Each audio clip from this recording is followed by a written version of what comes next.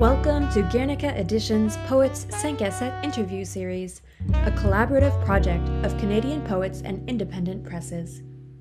Guernica Editions is based in Hamilton, situated upon the traditional and unceded territories of the Erie, Neutral, Huron-Wendat, Haudenosaunee, and Mississaugas. Today, Antonio D'Alfonso and Ruth Panofsky will be in conversation and will read from their recent poetry collections. And they have a couple poems they wrote just for us. Poet, novelist, essayist, translator, Antonio D'Alfonso has published more than 50 books, including translations, and has made three feature films he is the founder of Guernica Editions, which he managed for 33 years before passing it on to new owners in 2010. He moved to Toronto in 1991. For his writings, he won the Trillium Award, the Bressani Award, and the New York Independent Film Award for his film Bruco. He holds a PhD from the University of Toronto. In 2016, he received an honorary doctorate from Athabasca University. His new film, Tata, Daddy, was released in July 2020. The Two Headed Man Collected Poems 1970 to 2020 was published by Guernica Editions in July 2020.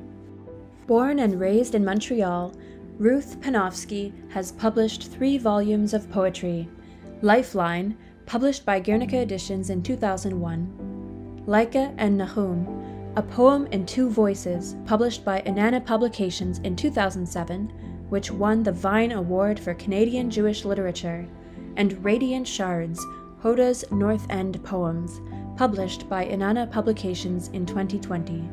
She currently lives in Toronto, where she is a professor of English at Ryerson University. Welcome, Ruth and Antonio. Hello, Ruth. Hi, Antonio. Nice to see you. Yes, I haven't seen you in a good 20 years. It's forever. It's forever. It's incredible. I'm so happy you, you did these two books. That I'm talking about Laika and Nahum, which you published in 2007, and Radiant Shards, which you published in 2020. Both books examine the lives of immigrants of uh, the Jewish faith at the turn of the century. I, I think they must be Russian, and I wasn't quite sure. Can you tell us what motivated you to portray the lives of these people from the past for the modern reader? The first book you're talking about, um, Laika and A Poem in Two Voices, uh, was a poem that I think was percolating forever. It's a poem that comes out of my relationship with my maternal grandmother, who I loved very much and actually had the opportunity to live with for a short period of time. And um, both my grandparents were immigrants to um, Montreal. They came, my grandmother came when she was very little, so she was really, for all intents and purposes, Canadian. My grandfather came in his early 20s, and he was very much always the immigrant. Um, and I was always interested in my own history. And it was so hard to really get at uh, because the lives of my grandparents were uh, lived in the present day and there were challenges and struggles and there were real difficulties that I probe in that book.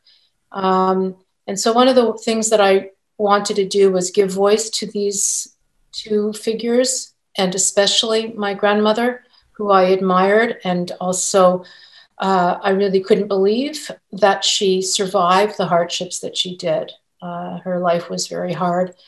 And she came out as the most resilient, loving person, um, despite all the hardship. And so uh, that book was an attempt to really look back and also give voice to my grandmother. And so, and I also really like the idea of entering into the inner world of people and writing out of this kind of imagined space of their inner lives because they didn't really have a chance to uh, give voice to their own experiences. And uh, I felt kind of called to do that for them.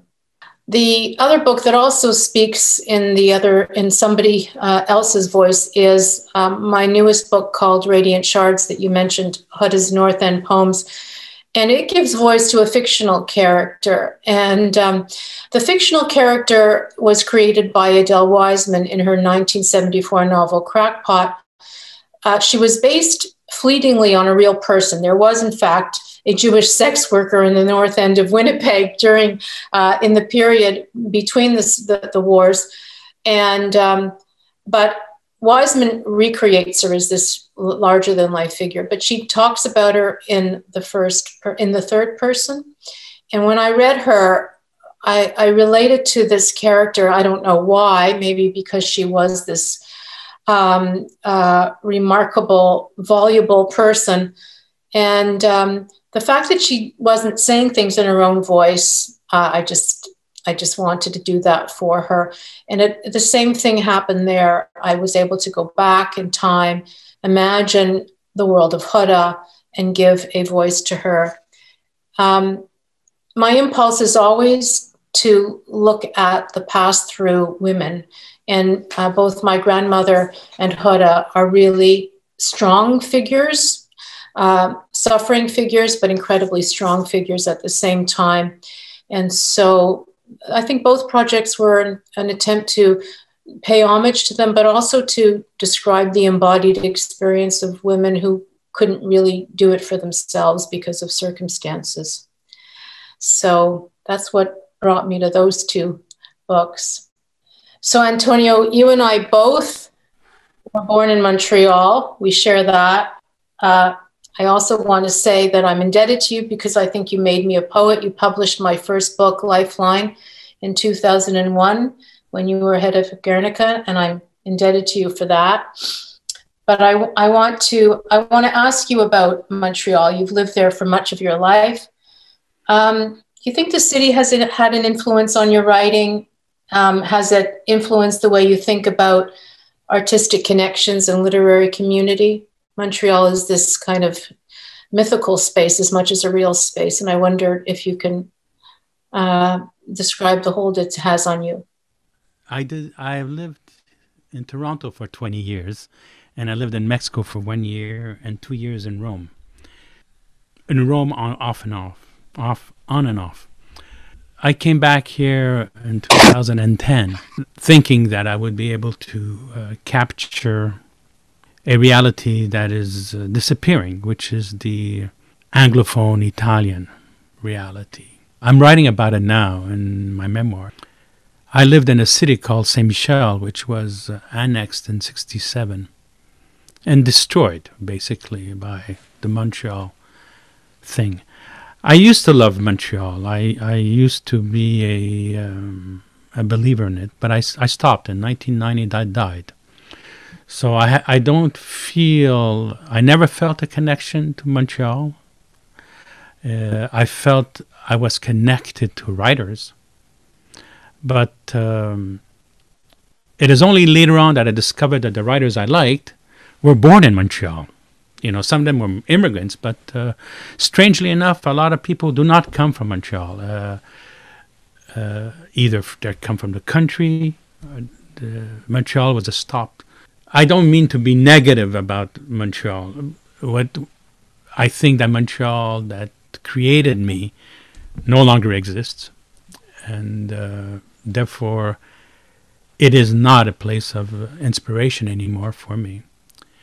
I feel it like a, a very like a prison, in fact, because since 1992, uh, I think the the city has become a total different project and you're either part of it or you're not which i'm not. I decided not to be part of it. I do not want to be a, a fifth class citizen. And uh, i'm trying to capture that reality of uh, that i knew as a child uh, from 1953 to 19 let's say 1990 but uh, it's very hard because, uh, you know, the first Anglophone I met, I mean, Anglophone was a Jewish lady at uh, at uh, Loyola in 1970. Before that, we were all Italians with a couple of Irish and one or two Polish people, but basically we were all Italian. Or, you know, we were going into the same schools. We didn't speak the same language, so we had to speak English. So that's why we spoke English. And we played, because we were in the east part of the city, we played with francophones. So that gave us a, a unicity that uh, that made me who I am, and that is something which I want to remember. But when I when I went to Loyola, that's where I discovered the Anglophone writers. Uh, I mean, I knew about Leonard Leonard Cohen before, for, because of an older sister of a friend of mine, of a neighbor. She had bought her LP in 1960, his LP in 1966, and that you know, wow, that was interesting for me. But not because I was a poet, just wow, what a finally a voice from Montreal. I was able to uh, identify because I was not identifying with the French songs at all, you know, and so yeah, Leonard Cohen became a major figure. But if we look back of that, it's the Jewish thing that interests me, which I'm discovering now. So today, uh, I, I I play a lot of music, and it's a lot with the Jewish friends, uh, people who are my age who who grew up in Montreal and who left, who came back, and so that is very new for me because it's uh, that bridging of the Jewish culture and the Italian culture should have been done many, many decades ago, and we never did because we went to different types of schools, and uh, so I regret that basically, and uh, I, it, it is something that I would have liked to have. I would have loved to you, learn Yiddish, for instance. I'm, I regret all of that stuff because I did not know it. I can't regret it. I, I see it now, and I, I'm curious, right? The rest of the stuff is about being Italian. I mean, that's a, you know, thousands of pages. Yeah. Right. I mean, but that, that I don't talk about anymore. I decided uh, it's too political what I've written, I will write another book about it, and it's stopped. Uh, I will not no longer talk about it because uh, it leads us into heavy politics, and uh, no one wants to talk about that. That's why I called Guernica Guernica. it's an anarchist place, you know, and I, I am profoundly anti-nationalist, and uh, and I believe that ethnicity has nothing to do with nationalism, you know, and it's something that Canada could offer the world. Unfortunately, we're not a racist free society. It speaks to the richness and the uh, aspects of Montreal and its uh, uh, its history in a very probing way. I'm looking forward to your memoir. It'll be it'll be really really interesting. Maybe I'll follow up then with a que- with a question then because you you decided to become a publisher in 1978 when you established Guernica. Um, I'd love to hear about those early days in publishing. Like, how did you how did you even begin? Did you work out of your house? Did you work alone? Did you work with others? Um, did you receive any kind of financial support at this point in the early days? Uh, how did it How did it start? Uh, it started by uh, at Loyola by reading magazines, just discovering writers. I, I, I quit literature classes because I, uh, I found them very uninteresting. Uh, also, I had three uh, awful experiences with teachers, you know, abuse, sexual abuses there. Therefore, that put my my death to um, to literature. So I went to film, uh-huh.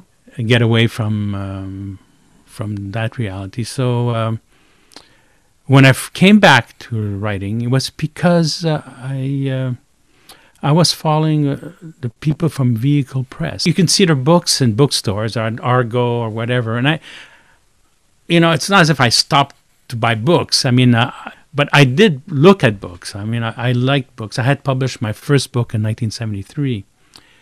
So uh, I was interested by something. And so I went to look at that something, and it was the Véhicule Poets. And, uh, and I was married. I got married in 1978 with a Mexican woman from a higher class. I, I come from a very low class family. I, I you know, I mean, the, there's no books in my house. You know, books are uh, are considered dust gatherers, right? Um, and so um, when I uh,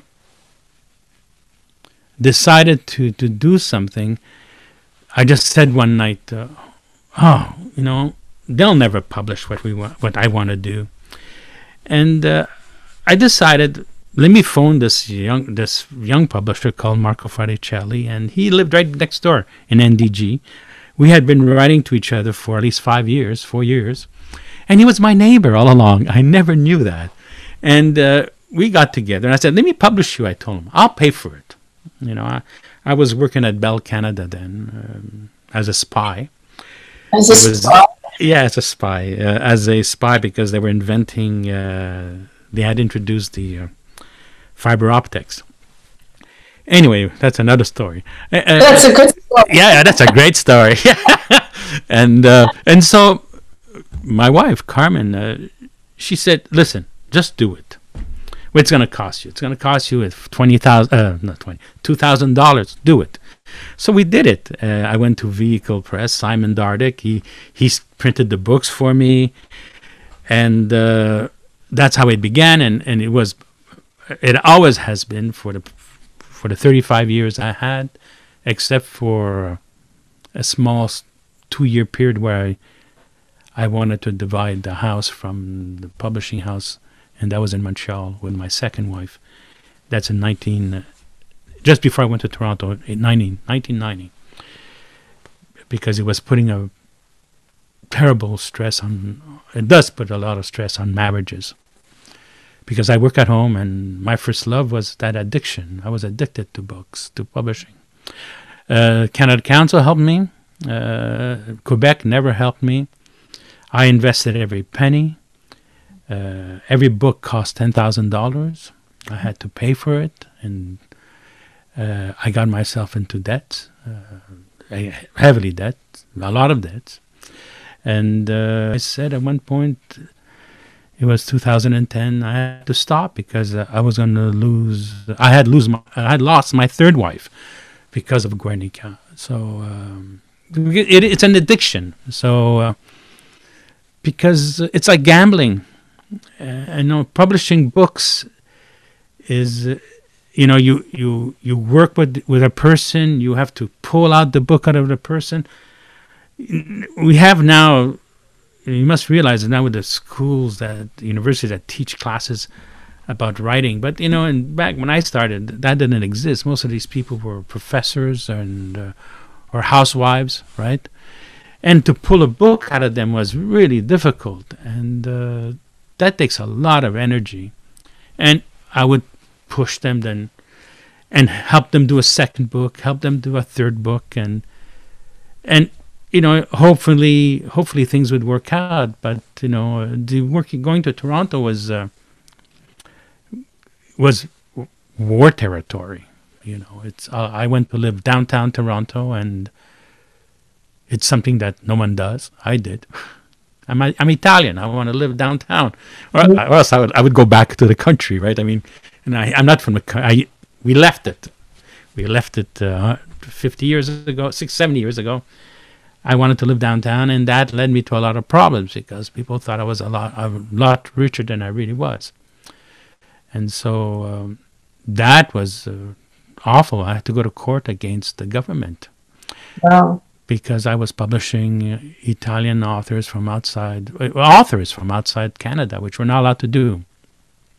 That is all done uh, personally, and uh, unfortunately, that personal thing becomes a cell, and that cell has to be subtracted from the official Canadian cells, which means you. I was accused of fraud, which for poetry, wh- what are we talking about? Like ten thousand dollars, you know? But it, they were really, really after me. They were out to destroy me.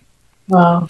So I had to leave. And besides, the atmosphere had changed, and uh, uh, you know, people are very competitive, and uh, I'm not. I started this as an ignorant man. I learned to read. I learned this. I discovered a world as a publisher. I published around a thousand people. Yeah. published 500 books. I still help people, and uh, that's what led me. But I have to thank Carmen, my first wife. She's the one that said, "You can do it." So I'm going to to read um, some poems from from Radiant Shards, and here's the cover of that book that was uh, published by Inanna Publications in just um, uh, April 2020, in the middle uh, of COVID. Um, and this book, as I mentioned, uh, is spoken in the voice of a fictional character. Her name is Hoda, and Hoda is an obese Jewish sex worker who services the boys and men of North End Winnipeg, which was very much a Jewish enclave. Um, and the story kind of um, uh, spans uh, the period um, in the middle of uh, the 20th century up until the end of the Second World War. Hoda kind of falls into becoming a sex worker because she needs to somehow support her and her father. After her mother dies, her mother is a hunchbacked woman, her father is blind, and her mother has supported the family by cleaning homes. She dies from a tumor, and then Hoda is left to somehow figure uh, things out because uh, there's no other way uh, that she and her she and her father could stay together. And so um, this book is is divided into six sections, and um, the poems I'm going to read you from uh, read from are are in the second section called the initiation. The first time I wrap my legs around Morgan tightly, then tighter. He cries, I love you, I love you, I love you. Words to hear. Words I need to hear to do it again with my Morgo, my dear Morgo. Morgan lied. I'm not his one and only girl of his dreams. You're friendly, funny, and you put out. But love, he says, no dice so long. I just wanted also to show you that um, I use archival images in this book uh, from the Jewish Heritage Center in Western Canada. And this is the figure that I've chosen to represent as Morg- Morgan, uh, uh, Hoda's first uh, customer, as it is. Um, and then I'm going to just move forward a bit in time during this same section initiation. I do not judge, never say no blow job, absolutely no gang shag, so they let loose with good old cheer on raunchy Hoda. Aroused boys cling to me. I take them in, hold them close. There is ample room in the rollicking fun that brings them back often to my place of reckoning. Lewd, you say? Yeah, I'm lewd, crude, and coarse too. I make my way with my body. What else would I be? A polite little Sioux, refined and ladylike? No way, no damn way. And then I'll close with um, what I've called the coda. And actually, um, this is this is an image of my version of Hoda. Uh, somebody who I think was actually in real life a telegraph operator, uh, but, but I've taken her um, to be my idea of Hoda. And this coda is something that I imagine as having been found among Hoda's private papers, which of course is, is an imaginative cache because Huda never existed, but it's an homage to her body. I bless this aging body, for it is sound. I curse this aging body, for it is weak. I embrace its persistence, abhor its flaps and folds, rely on its strength and deny its force. One day I waken to its will and ken. The body is guide, the body is guile, the body is grace, the body is mine. Over to you, Antonio. Beautiful. So um, I'm going to read from uh, Guernica published uh, this book called Two Headed Men, Men, collected poems 1970 2020. Thank you, Guernica. Hmm. I'm very touched they did it. So I'm going to read um, 50 poems. I'll read two poems, maybe two, two, maybe three. How to talk about Helen.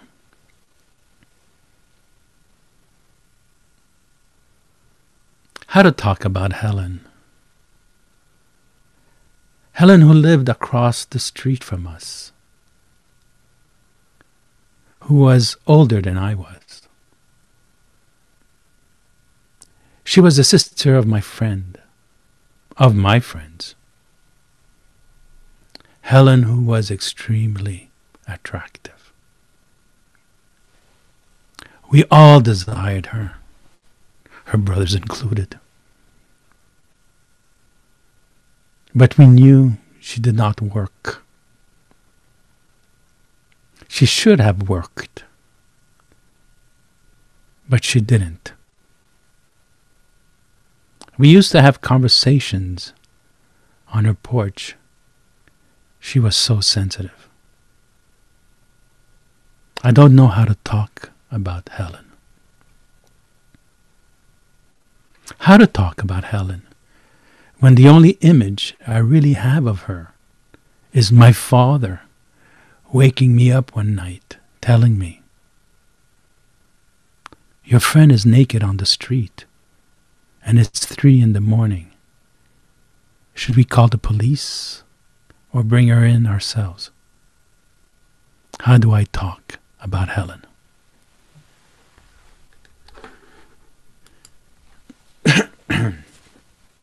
So these are two women that lived in front of my house.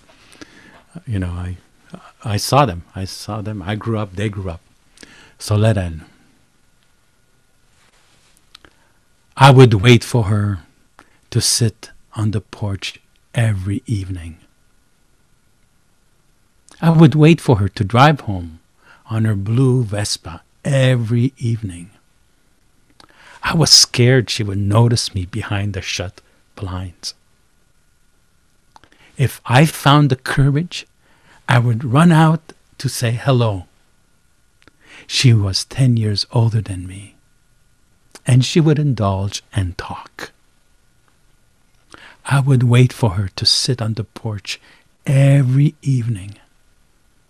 And when she would, when I could, I would open up and sweat.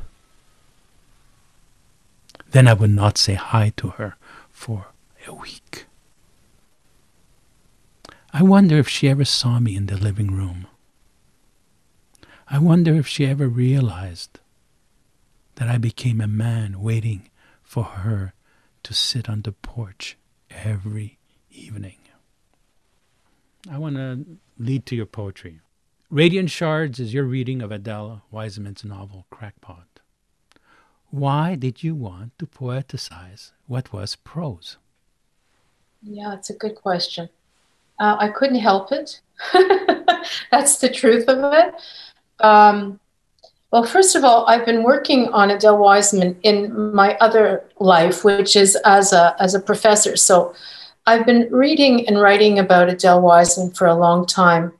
Um, she's a Jewish Canadian woman writer of my mother's generation. Actually, she was born the same year as my mother. And I always wanted to find a record of Jewish woman's experience. You know, there was lots of record of male experience. You know, I could look at Richler, for example, who was actually a friend of my father's. They went to high school together. So he wrote about what it was like to be a male in that world.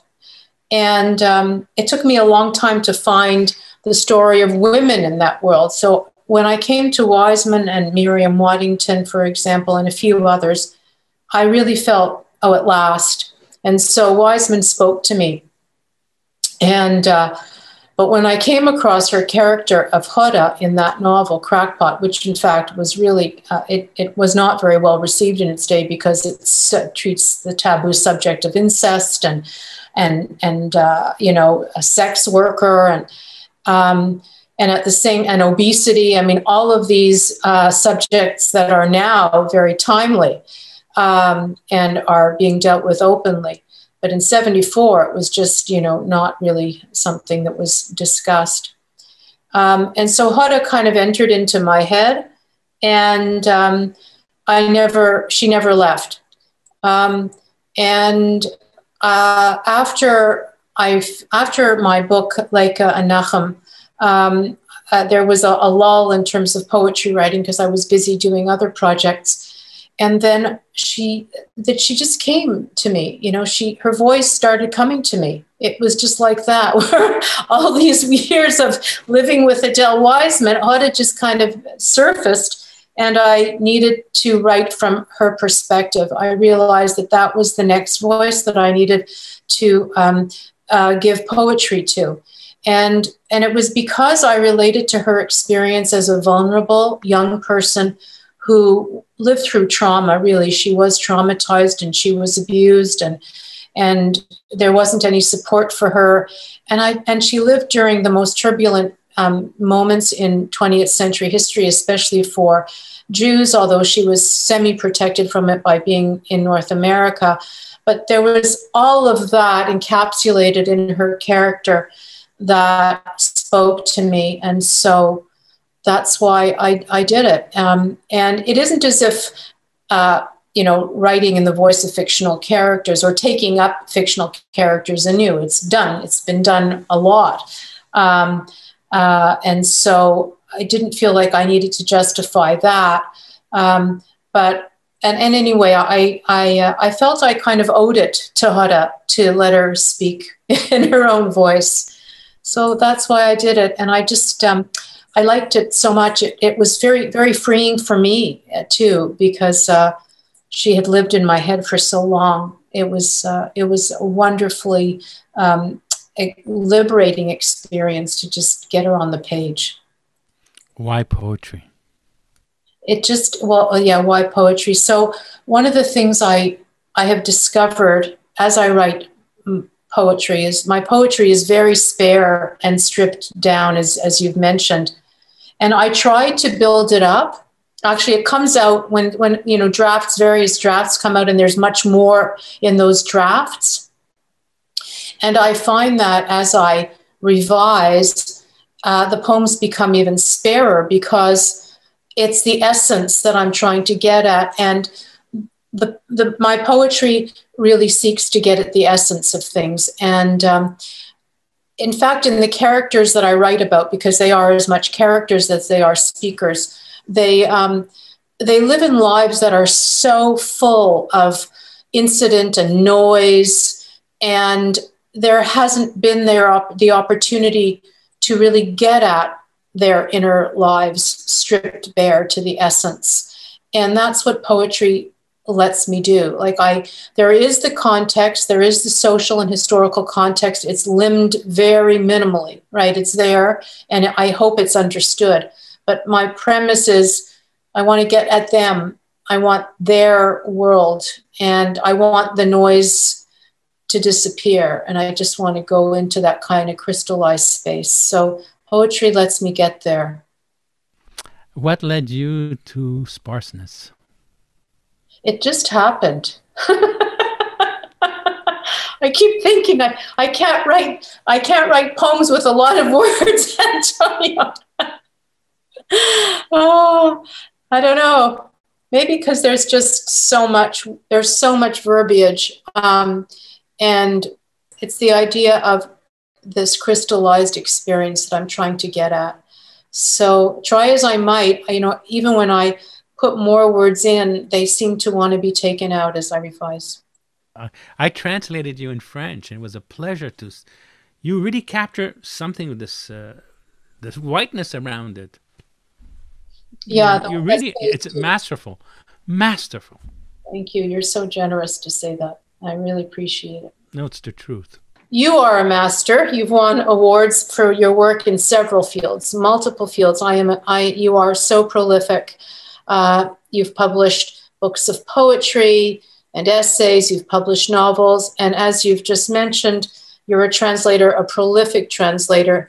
plus you're a filmmaker. Um, so uh, many people would, um, you know, really aspire to, uh, you know, master one field, and yet you move, you seem to move so easily across these various modes.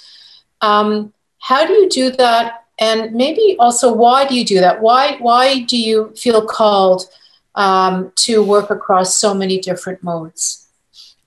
I think is to spite T.S. Eliot, where he says at one point, "A poet cannot be a prose writer," and he was a great prose writer. He was a great uh, essay writer. He's, he's probably a better essay writer than he is a poet in many ways.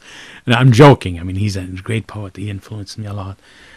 I'm joking. But the two main writers and people in my life that uh, affected me very young, uh, Cocteau. I was four years old when I saw Orphée on TV, and Cocteau was a major playwright, a poet, a filmmaker, uh, an artist. Mm. So he's a, someone I aspired to be he was gay, I wasn't, but he had everything else that I loved, you know. And the other person I, that I loved who did the same thing, it's uh, Pasolini. Again, a gay guy, but I wasn't gay, or else I would have followed that whole reality of mixing. Why, do, why does one mix? It's because I can do it.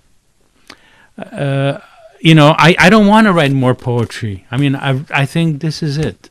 To write more poetry would be, I would like to do it under a different name. You know, I don't want to. I want to do prose now. I want to. I, I want to do essays. Uh, published th- three novels. I translated uh, two or three novels, but I like prose. I'm starting to discover that. But there again, uh, in it's because I do the same thing in different fields. Uh, this professor who translated me in Brazil, she said, uh, when she watched my film Tata, my last film, three hours, she said, It's exactly like your novels. And I said, Yeah, it's the same mind. You know, I can't do what you do, for instance. You do little sonnets, which I find is, is amazing. And those sonnets become a film, and that's what I do. But I would not be able to be that linear like you are. You just somehow there's it's sparse, and that's why I love your writing because you're not boringly linear. You take away stories and oh, she's got an abortion. oh, right? you go back and you say, where did I miss it? I love that. I mean, how could I miss? There's only five words on a page. I missed something. You know, that that is cinematographic. I studied in film. I mean, that's all I studied in. Uh, I did my BA, my master's. I, I, did my semiology. I became a scientist, and I invented a way to analyze films. And I did my PhD, you know, on, in film. And uh, and I do film, so it took me a long time. It's much more expensive. And uh, what's nice about film is that you have someone else reading your stuff. There's one thing I hate, and I had to deal with it as a writer, as a publisher, writer going to uh, every night, going out to listen to poets read, back in the 60s, 70s, 80s. I did it every night. 90s, stopped at the, at the 20 when I had a child. But I would go every night out, close the bars, listen to the people, and they were basically all of them read the same way. Uh, I like Margaret Atwood, uh, uh, you know, and please, I, I, love Margaret Atwood, but you know, but it's she put that style because before that you didn't have that. I remember uh, seeing even a, a, man like Marshall McLuhan read his little text, and he was animated. It, it, it's it's it is with body politics when she she introduced this coldness in writing of this mon- monotonous tone, which which colored all of literature because I could see a different voice. And when I went to to the Quebec side, once in a while you had this person ah i said well that's interesting and then i went to france you had the same type of stuff going or unless in Italy. In Italy, they're all old and wearing, you know, wearing straight jackets. But what I what I discovered was when you gave it to an actor, he could read your text and put a life to the to those lines that the writer doesn't even think, incapable of doing this. So to do that it was a pleasure to say, I'm going to, my films are basically poems that I film. I mean, literally, every scene is a poem that's read. It's always the same story. I mean, the same addiction, the same fascination for pluralism. You know, I'm that's all that that interests me. I want to hear different voices. So film enabled me to analyze poetry in a um, humane way, in a, a, everyday way, you know, and uh, that I really enjoyed. And lastly, uh, and that's why I find you you're amazing in your poetry, where you could you could uh, very few words uh, de- depict nonverbal actions. I have a, a COVID poem that comes out of the wonderful lull that we were afforded um, in the summer. And it's a poem um, that emerged out of a visit to Montreal. It's called Rêve au chocolat. On the Montreal terrace of Juliette, Juliette Chocolat, my mother sips her chocolat chaud from a small white bowl. Behold, it's like drinking velvet. It's COVID time, and we are sharing ice cream. Three scoops, chocolat, vanille, noisette, from a larger bowl, also white, as I lament the constraints on human connection. She is displaced to a world less altered strolls familiar streets guided by a beloved grandfather, cuddles a baby brother safe in arms of a devoted sister, kicks ball on the scrappy turf of youth. In chocolate reverie, she returns to the time of grounding as our ice cream melts in the fading warmth of evening. Uh, this is the first poem I write in, I would say, about five years, mm. except for translation, which you know they're poems too. But so this is called 10 01 2021. It's 801. Curfew in town. Every citizen is scrutinized. Despite searching every brick, every mortar, not a sound is, not an image is seen. The trees are not real. The river is not real. The lights are not real. What lies outside my window is unreal. I touch my thigh. I twitch my toes. I pull on the sciatic nerve, hoping it will shoot a shot of pain. I scream, I'm alive! I call the police. I call the Prime Minister. I phone, but no one answers. I believe nothing out there is real. This is a case of missing persons.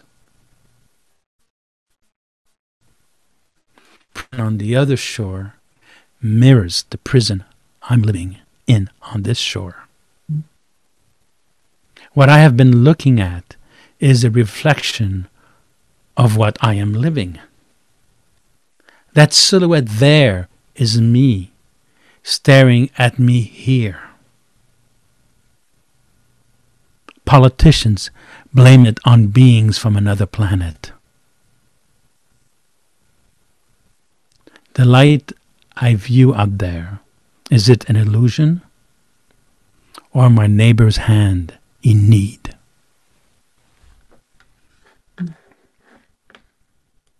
Voila. You said something earlier having just read this powerful poem, that you're, you don't foresee writing any more poetry. Um, after having just spent this time putting together The Two Headed Man, which covers the years 70 to, 20, to 2020. I mean, that that's a, a life's work. Um, so, how did it feel to return to the body of work that you brought into the two headed man? And, and why do you think you're not going to write any more poems? One of my poets I like, again, his name is Tom Gunn. He published his first book with Ted Hughes many, many years ago, and I, I think it must have been early 60s. And I, I bought, just before he died, I bought his collected. And his collected is basically same thing. It's Faber and Faber uh, in America. I forgot. I think it's a Giroux Strauss. It's you know it's a it's 300 pages, and uh, he says this is it. I don't want I don't want to write anymore. I, what I have to say is said. I mean I don't need to to to continue. I mean. Um, I will repeat myself, and it's it serves no purpose. You know, uh, he writes about being gay, and uh, my stuff is about being. Uh, it's about the man who discovers that he's Italian and uh, Italian outside of Italy. I mean, that he is an ethnic, that he is a uh, a person without a land, without a, and he doesn't want it. That's the different thing. People before me decried it. Ah, I want the land or nostalgia. No, I'm happy. I have none of that shit. I'm happy. Uh, let me be the first one to say this is the best way to go. Now, oh, there are people who are preventing me from saying this. And that's what my book is about. And, that, and my essays are, are saying the same thing. And so when I went through through the whole poetry book, it it's an older man looking at the the stuff. So there aren't that many books out there of my work. So I didn't feel as if, uh, I mean, there were one or two poems which are famous. Uh, that are being used at school.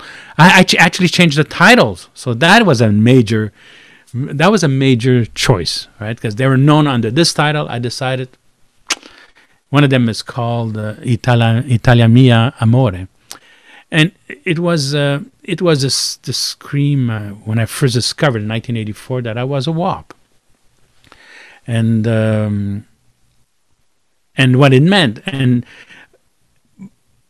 and the problem was that when with that title, it led me back to Italy, and I said, no, that that's not. Now, as an older man, I'm allowed to say fix that up. I mean, that was a mistake. You see, to answer your question, if there are mistakes, I had to correct them you know, you cannot wash your hands and say, well, it was a younger man who said, no, I don't believe that. I believe that if you said something stupid, something racist, sexist, or whatever it is, I mean, it comes out in your text, and not you. Um, if one looks back at one's poetry and realizes he's an asshole, you got to take it out. So that, so therefore, I didn't, never felt guilty about changing anything.